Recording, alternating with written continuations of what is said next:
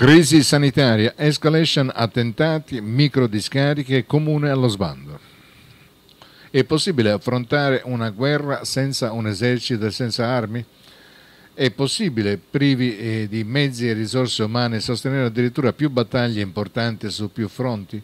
Lascio ai concittadini la risposta a queste domande a fronte della retorica con cui l'amministrazione comunale comunica attraverso gli organi di stampa la sua ferrea volontà di arginare almeno tre delle più gravi emergenze di ordine pubblico che hanno caratterizzato l'anno appena trascorso.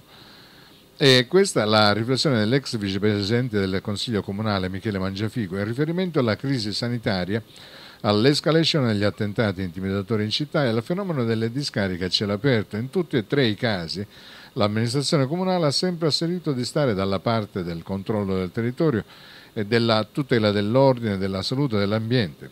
Tuttavia queste battaglie non si combattono solo con le solidarietà e le ordinanze. A nulla servono, spiega Mangiafico, questi provvedimenti se non vengono declinati con gli atti concreti funzionali al controllo del territorio. Sto parlando anzitutto dell'organico del corpo di polizia municipale assolutamente inadeguato rispetto alle necessità da affrontare già prima della stessa pandemia, come affermato dallo stesso comandante in occasione dell'attività ispettiva del giugno 2019 in data 11 giugno appunto, 2019.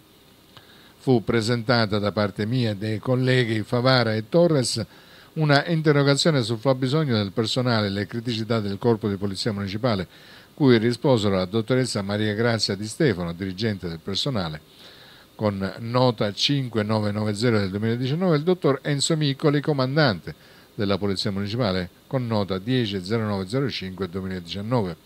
Per migliore comprensione dell'opinione pubblica eh, c'è da a, appunto dire che da parte di entrambi i dirigenti veniva rappresentata l'urgenza di almeno 40 nuovi ingressi nel corpo di polizia municipale che comunque non avrebbero colmato il gap tra vigili in servizi e vigili in pianta organica, ovvero 121 al 2019 per un totale auspicato di 245. Un gap numerico che si aggiunge a quello anagrafico, ovvero un'età media di 55 anni.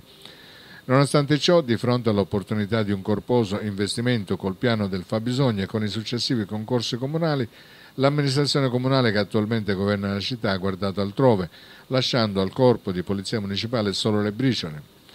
Non dovrà sorprendersi se non riesce a controllare e sanzionare i comportamenti che generano il moltiplicarsi dei contagi, se le forze in campo per contrastare gli atti intimidatori alle attività commerciali sono insufficienti, se le microdiscariche continuano a proliferare deturpando l'ambiente in cui viviamo.